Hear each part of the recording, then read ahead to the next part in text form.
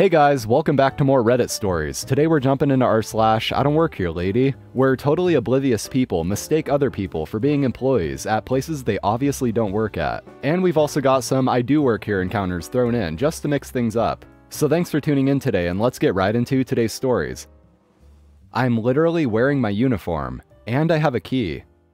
So I used to work at the Way of Speed for almost three years. I was one of two full-time closers, so that meant I had a key. We usually closed at 11 p.m., but on Friday and Saturday it was midnight. Now to the story. On this night, it was a weekend, so I was going to be there until midnight. I clean my store, close the tills, lock the door, and wait outside for my boyfriend to pick me up. 30 minutes later, he finally shows up. I get in the car, and as we're just about to pull away, a lady cop pulls up behind us with lights on. She walks up to the driver's side door and asks what we were doing there. I tell her that I work here, and I just closed, but my ride, pointing to my boyfriend, was late. Well, it looks suspicious being in the parking lot after closing, said the cop. How is it suspicious that I'm at my job after closing when I'm the one responsible for locking the door? I said. I even showed her my uniform shirt. Well, it's still suspicious.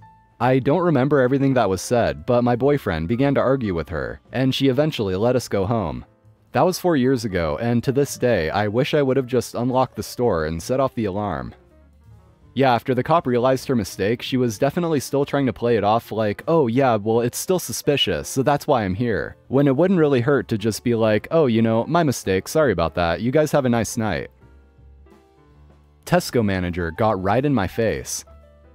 About 14 years ago, when Reliance Security provided security for Tesco stores, I also worked for Reliance, but was based at the airport. One morning after a 12 hour night shift, I decided to go into a Tesco store I passed on the way home and get a sandwich.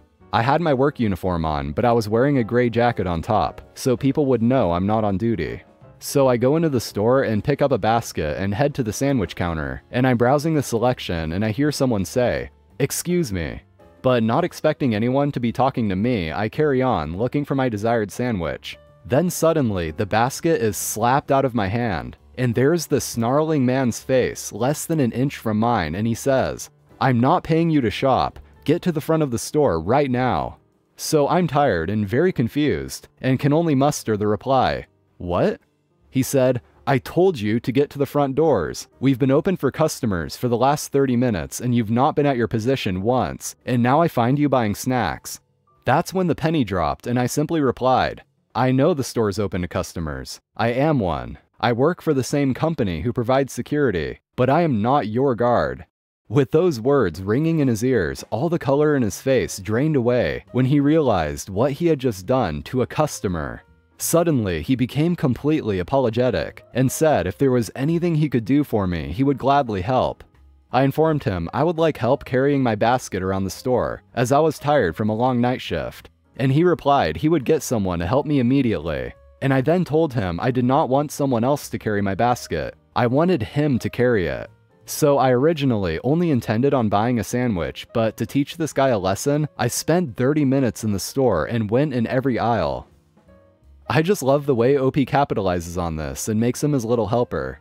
I think what was probably going through this manager's head, aside from being mortified, was the fact that if he didn't do everything he could to make sure that OP didn't report him to his company, or even the security company, then this guy could be in big trouble, and probably even lose his job, because that is not a way to talk to anyone. My sympathy for everyone who actually works for this guy. Scolded for closing a store I don't work at. This happened a couple weeks ago. Made a quick run to a party supply slash craft store for a cake project I was working on. Place closes at 8. I got there at 7.45. Found my item within 10 minutes, paid, and went out to my car. I am sitting in my parking space still at 7.57, just reading the packaging of my purchase to double check something, when this other car pulls up beside me. I see this white woman in her late 50s get out, and I can see her walk to the store entrance from my rearview mirror. The automatic doors don't open for her, I go back to reading my packaging and look up when I hear a woman's voice near my closed window. Something something, closed. Politely, I crack my window down like a centimeter to actually hear her. She was ranting that they were closed, and I was like, oh yeah, they close at 8 now, I guess. She cut me off. It's not 8 yet, you're not supposed to be closed yet, it's 7.58. I don't work there. She cuts me off again. I don't care if it's two minutes or two seconds to eight, it's illegal to close early. She's kinda close to my car, so I don't wanna just pull out and tap her with the car mirror and have her sue me or something, which is why I didn't leave yet. I firmly, a bit louder, repeat, I do not work there. Big obnoxious, exaggerated arm gesture to the empty parking lot using this loud antagonistic sing-songy tone. She says, I don't see any other cars here. Insinuating I must be lying about being an employee? Pretty sure employee parking at that place is behind the building. She moved over a bit when she did that grand arm gesture, giving me room to comfortably pull away, so I started the car. As I rolled up the window, I said, I am a customer, you effing banana. And I held up my receipt to the glass, then shifted in reverse. She was still yelling something when I left. And to be clear, there couldn't be any real reason for this lady to assume I worked there. It's mainly run by teenagers, and I'm in my late 30s, and I wasn't wearing any work-like attire or name tags. I was in loungy crap. Gave up on life, heather gray colored joggers, and a multicolored flannel shirt. Employees wear bright, solid colored shirts, and not sweatpants. The best part about this story was you effing banana. I'll have to remember that one. Oh, and their very descriptive color as well. Gave up on life, heather gray colored joggers. New employee threatens to impound my car. I'm the owner.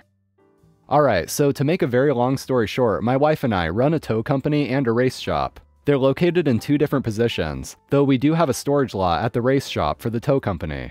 I haven't been into the office in about a month and a half. During this time, we needed to hire a new dispatcher, and my wife went ahead and handled this, choosing a rather good candidate, if I must say. Now, with that out of the way, I can get to today's events. I showed up at the tow yard in my 96 Nissan Silvia and parked it in one of the three wrecker only parking spaces in front of the building. A wrecker is the tow truck that is the size of a normal pickup truck and tows a car behind it, by the way. Having one of the three total wreckers currently on duty at the race shop and the keys in my pocket, there is no need for all three spots, and well, I own the place, so.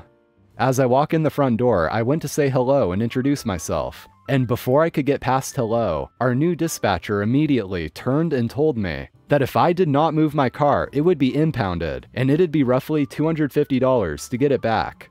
I think to myself, okay, I like your fire, let's see where this goes.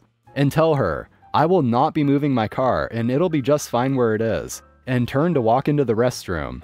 I did stay in the restroom for about 15 minutes until I heard one of our trucks come rolling in the front gate. I slipped out of the bathroom and used the side exit from the building to make my way around to my parking space, meeting up with my driver. Laughing, I told the driver to go ahead and impound it. Chuckled a bit as he looked confused, and I just told him to play along. So he hooks it up and pulls it into our gated lot around back in under 5 minutes, as I've now slipped back through the side door and walked back into the office. As I see my car go around the corner, I say to our new dispatcher, Hey, where's Brian going with my car? And without a stutter, she responds, Sir, I warned you if you didn't move it, it would be impounded. Pausing for a moment, I waited for it, and after maybe six or seven seconds, she asked, Wait, how do you know who Brian is? I cracked a bit of a smile, slung my hand out for a handshake, and said, Hey, my name is OP, and I'm the owner here. The poor girl's face turned white as a ghost, and she immediately started reaching for the radio, not seeing the five guys peeking around the corner snickering to themselves, as they've all caught on by now. I tell her not to worry about radioing Brian as I'll quote, handle him, and ask her to sit down. Looking very frazzled, she grabs a seat in my office, and I sit down across from her, turn on my work PC while whistling to myself. After everything boots up, I pull up the ticket on my car's impound and void it out and inform our new dispatcher of such. With a whimpery, yes sir, she's staring at her feet. Immediately behind her, all of the guys are hanging out in the doorway, all but holding their mouths shut. I look to our new dispatcher and stand up. I simply say, I really like the way you handled that. No one should be parking there unless they're one of the on-duty wrecker guys. Sometimes this does require them to put their cars here in a pinch though. Try not to cause any more friendly fire, yeah? And before she can answer, she's spun in her chair and seen all the guys watching. They erupt into laughter, and I asked everyone in the room what they want for lunch. The new girls is on me. Surely, she'll never live it down, but she's a part of the team now. This is great. In all honesty, she was actually just doing her job. There wasn't really any way for her to know that OP was actually the owner. So in the end, it just kinda turned into a bit of a friendly hazing, I guess. told a woman to fluff off. I worked in restaurants for many years. It used to be fun. Food Network made everyone a food critic and ruined it. Suddenly, people that could not boil effing water are telling me how to do my job. Anyway, I already had a new opportunity set up. I had three days left to write out the string and finish up my employment. Three days. That is it. We have a lady, let's call her Stacy. Kind of a boss level Karen, replete with stupid ass haircut, oversized sunglasses, and fake everything. And she is unhappy with the quality of her sandwich and soup. There was nothing wrong with either item, other than the fact that they did not come from Neiman Marcus. Keep in mind, we are not talking about a five star restaurant. Her server comes to me and says, Stacy said our food was garbage and demanded to see the manager. She was ready to show off her power for her friends. I walk over, stood tall, and asked what the problem was. She then began to berate me personally that she did not like my accent, Texas, and I was too ugly to be working in public. I pulled her plate along with the plates of her three friends and told her to get the f out of my restaurant and walked away with their food. She of course refused and wanted to fight. I tossed her my keys and security card, told her she was now in charge, and left. She followed me out screaming and threw my now former keys at me. My response was again a hearty f you. I do not work here. A couple of lessons. Always be ready to walk at a moment's notice, and don't put up with crap from anyone. About three months later, she showed up at my new employer. We refused to serve her, and the murder of Karen's with her. My new owner backed me 100% and told her, you, leave. Greatness. I still send him a Christmas basket every year. Tourists think we work at the museum because we thought to Google. This is a story from a few years ago. My husband and I used to live in Boston. Boston is awesome for all of the great museums and history. One museum we frequented a ton was the MFA, Museum of Fine Arts. We used to go on average probably every three or four months. Anyway, one day we decided to go to the museum. As we approach the doors, we can see a whole crowd outside. People are trying to open the doors and peering in through the glass. We walk up, and almost right away, my husband goes, I'd better check online to see what's going on.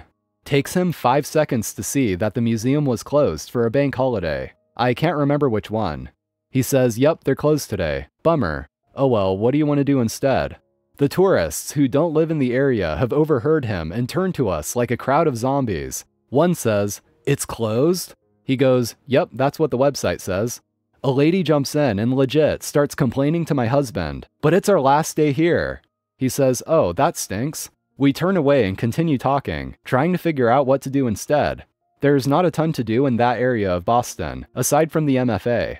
Lady interrupts us. This is our last day here, what are we supposed to do? Now I'm annoyed. I just give her a disgusted look and say, Lady, what are you asking us to do? We don't run the museum. She stares at us with an idiotic expression on her face. All of the other tourists are still staring at us like we're supposed to do something for them. I grab my husband's hand and we walk back over to the train platform. It's in front of the museum. To this day, I don't understand why this crowd of brain dead tourists thought we could open the museum for them. We were clearly there to visit the museum, same as them. That is it for today's stories. Thank you for watching as always. If you enjoyed, I'd really appreciate it if you dropped a like, and I'd double appreciate it if you subscribe to the channel for more Reddit shenanigans. So take care everyone, and I'll see you in the next one.